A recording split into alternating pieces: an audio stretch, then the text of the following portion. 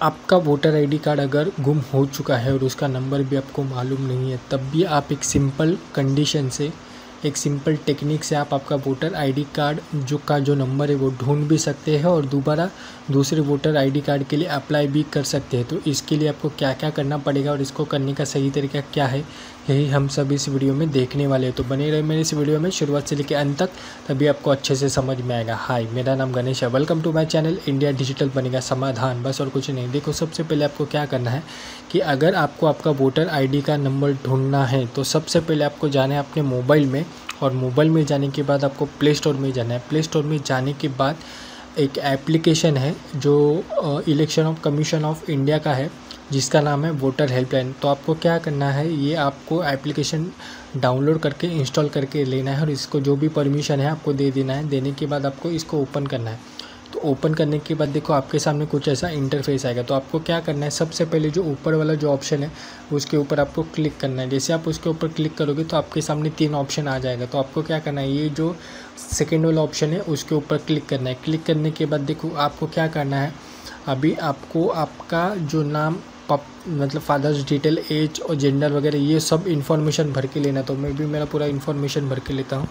तो देखो, आपको क्या करना है, सबसे पहले आपका नाम डालना है दूसरा आपका फादर्स नेम डालना है, तीसरा आपका जो भी एज है वो डालना है बाद में आपका जो जेंडर है वो आपको सिलेक्ट करना है, बाद में आपको स्टेट सिलेक्ट करना है और स्टेट सिलेक्ट करने के बाद आपका जो भी सिटी रहेगा वो आपको सिलेक्ट करना है लास्ट में आपको जो भी आपका चुनाव सभा का जो भी क्षेत्र है वो आपको डाल देना है। इतना डिटेल आपको परफेक्ट डालना है, इतना डिटेल डालने के बाद जैसे आप सर्च के ऊपर क्लिक करोगे तो सर्च में क्लिक करने के बाद आपके सामने आपका पूरा इन्फॉर्मेशन आ जाएगा। तो आप देख सकते हैं कि ऊपर आपका जो नंबर है वो भी आपको दिख रहा है और यहाँ पे आपका नाम वगैरह सब दिख रहा है। और दिखने के बाद आपको ये कंफर्म करने के लिए आप जहाँ पे भी आप वोट डालने जाते हो, उसका भी एड्रेस आपको नीचे दिख जाएगा।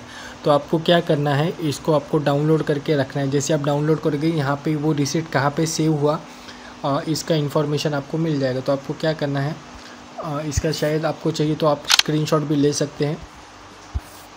और स्क्रीनशॉट मिलने के बाद देखो आपको यहाँ पे आपको, आपका जो वोटर आईडी का जो नंबर है वो आपको मिल गया। तो देखो एक प्रॉब्लम तो आपका सॉल्व हो गया। मतलब अभी तक आपको आपका वोटर आईडी का नंबर मालूम नहीं था तो अब आपको आपका वोटर आईडी का नंबर मालूम हो चुका है। तो अभी आपको क्या करना है, इसके लिए आपको रीप्रिंट करवाना है। मतलब आपको इसको नया बनवाना है, क्योंकि आपका खो चुका है। तो अभी आपको क्या करना है, वापस जाना है उसी एप्लीकेशन में और उसी एप्लीकेशन में जाने के बाद अभी आपको क्या करना है यहाँ पे एक ऑप्शन आएगा।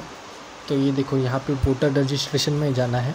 और वोटर रजिस्ट्रेशन में जाने के बाद देखो ये जो करेक्शन वाला जो फॉर्म है नंबर आठ का उसके ऊपर जाना है। उसके ऊपर जाने के बाद आ, ये आपको इसमें आपका जो भी है देखो स्टार्ट में जाना है।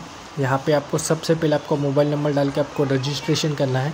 रजिस्ट्रेशन करने के बाद आपको आपका रजिस्टर होने के बाद आपको आपका जितना भी इंफॉर्मेशन है कि जैसा कि हो गया आपका जो ईपिक नंबर है, वो आपको डाल देना है और ईपिक नंबर डालने के बाद आपका आखिर में जाके आपको रीज़न पूछेगा एक कि आपको आपको क्यों रिप्लेस करना है तो उसमें आपको लिखना है कि लॉस्ट करके।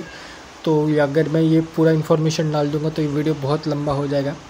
और ये मतलब तो आपको क्या करना है तो आपको यहाँ पे जाके जो भी इन्फॉर्मेशन है आपका भर देना भरने के बाद आपको उसका एक नंबर मिलेगा, वो आपको नंबर सेव करके रखना है और सेव करने के बाद उसका स्टेटस चेक करना है। तो स्टेटस चेक करने के लिए आपको क्या करना है? वापस आना है इसमें और इसमें आने के बाद देखो स्टेटस ऑफ़ एप्लीकेशन में जाना है और आपको जो अपनी जो रिप्रिंट के लिए जो एप्लीकेशन दिया था उसका रेफरेंस नंबर आपको यहाँ पे डालना है और ट्रैक स्टेटस के ऊपर क्लिक करना है।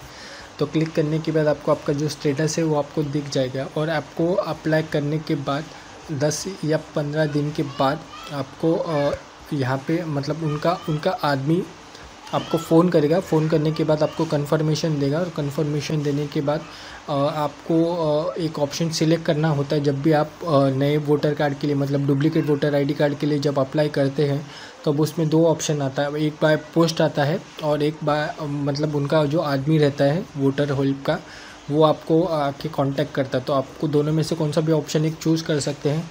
और चूज़ करने के बाद अगर आपने बाय पोस्ट किया तो बाय पोस्ट से आएगा। आ, लेकिन मैं आपको सजेस्ट करूँगा कि आप बाय पोस्ट से नहीं उनका जो ऑफिशियल पार्टनर जो आता है उनका जो आदमी आता है उनका ऑफ़िस वाला आप आ, उनका जो ऑप्शन है वो सिलेक्ट कीजिए। क्योंकि वो अगर आपको ला के देगा तो उसका जो थर्टी रुपीज़ का जो भी आपको चार्ज है वो आपको दे देने के बाद आपको तुरंत ओरिजिनल आपका जो वोटर है पीवीसी वाला, वो आपको मिल जाएगा। तो इस तरह से आप बहुत आसानी से आपका नंबर ढूँढने के ढूँढने के बाद एक डुप्लीकेट वोटर आईडी कार्ड के लिए अप्लाई कर सकते हो और आपको ये मिल भी जाएगा। तो उम्मीद करता हूँ मेरा ये वीडियो आपको बहुत ही पसंद आया होगा। अगर मेरा वीडियो आपको पसंद आता है तो मेरे वीडियो को लाइक कीजिए, शेयर कीजिए, सब्सक्राइब कीजिए। मिलते हैं कैसे नए वीडियो में। तब तक के लिए जय हिंद, जय भारत।